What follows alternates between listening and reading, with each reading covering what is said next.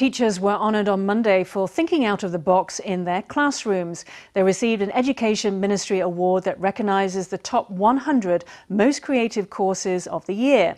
One winner was junior high teacher Liu Shu-huei. She invited backpackers from over 50 countries to join her Tainan classroom and share stories about the world. Another winner was Ho Ting-ting of Changhua's Datong Junior High School. She's a movie enthusiast who's made over 40 documentaries and feature films with her students over the past eight years.